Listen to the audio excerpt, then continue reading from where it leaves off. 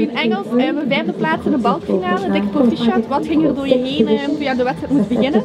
Uh, ik was wel zenuwachtig, maar ja, ehm, ik heb mijn best gedaan en eh, het zaten nog een paar kleine foutjes in mijn oefening. En daardoor dat ik een paar punten ben verloren, maar ik ben zeker blij met wat ik heb gepresteerd. Een podiumplaats was misschien iets te hoog gegrepen, omdat ja, de ander had een veel grotere, moeilijk, hogere moeilijkheidsgraad. Maar ik ben zeker blij met wat ik heb gedaan. Dikke